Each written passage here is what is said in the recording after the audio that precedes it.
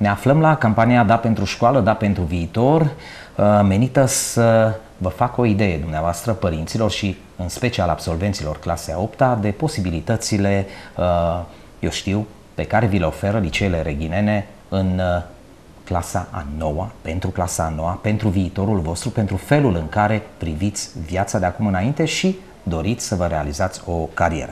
Stăm de vorbă cu domnul profesor uh, Ștefan Șerban, directorul Liceului Tehnologic Petru Maior și vom vorbi astăzi spre, spre oferta educațională numită Științele Naturii, da? Da, un uh, al doilea profil al școlii noastre, după uh, profilul matematică-informatică, uh, este profilul Științe ale Naturii. Mai cunoscut, uh, poate pentru multă lume uh, biochimie. Biochimie. Biochimie, biochimie. Deși nu mai este această denumire, în popor, să spunem da, așa, a rămas, lumea a rămas, o știe, da, a rămas în și da. uh, este un profil teoretic.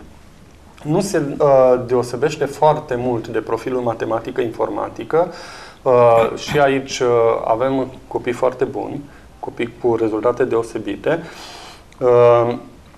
Uh, Deosebirea ar fi, să spunem, față de profilul matematică-informatică este că la sfârșitul clasei a 12 nu se susține atestat uh, și uh, există o mică deosebire în, la finalizarea uh, prin examenul de bacalaureat. Și aici mă refer uh, în principal la examenul de matematică, unde, uh, deși în clasa 9 și a 10 uh, cele două profile nu, se, nu diferă foarte mult din punctul de vedere al matematicii, se fac tot 4 ore, în clasa 11 și a 12 numărul de ore la profilul științe ale naturii la matematică se reduce la 3 față de matematică informatică unde crește.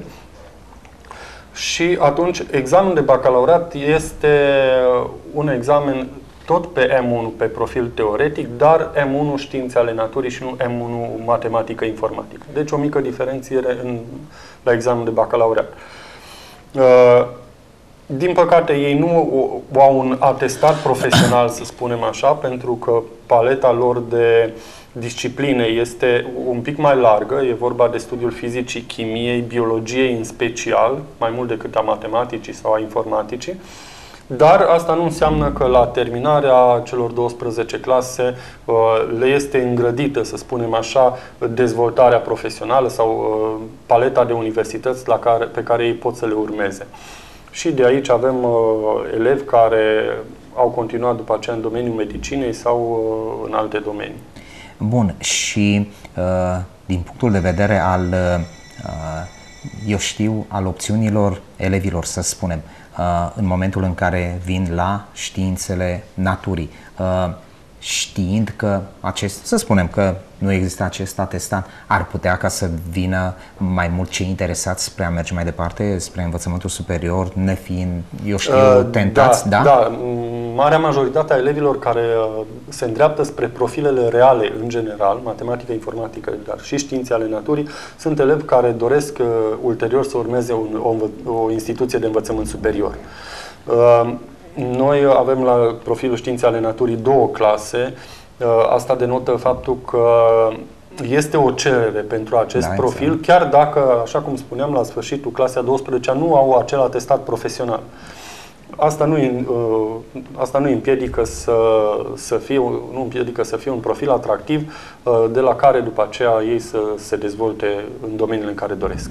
Deci, practic, e, e pentru toată lumea, da? Dacă da. dorește să urmeze uh, apoi învățământul superior și bănesc că își poate alege care la fel ca și la matematică informatică, practic, absolut, deci nu absolut. au niciun fel nu de... Nu au niciun fel de opreliște, să spunem așa, da. din acest punct de vedere. Și ca și rezultate, apropo de, um, eu știu, liceul dumneavoastră este uh, clar unul deosebit. Uh, rezultatele chiar și la BAC, chiar și apoi uh, în învățământul superior sunt deosebite. Sunt deosebite, da.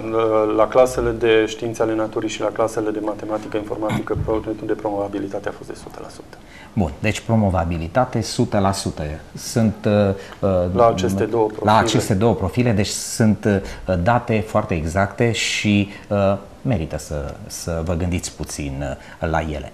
Bun, așadar, da pentru școală, da pentru viitor, uh, Liceul Tehnologic Petru Maior, o ofertă extrem de interesantă, domnul director Ștefan Șerban ne-a, ne-a descris-o, științele naturii. iar noi, normal, vom continua să vă prezentăm ofertele pentru absolvenții clasei a 8 din actuala generație. Până la o nouă întâlnire, numai bine!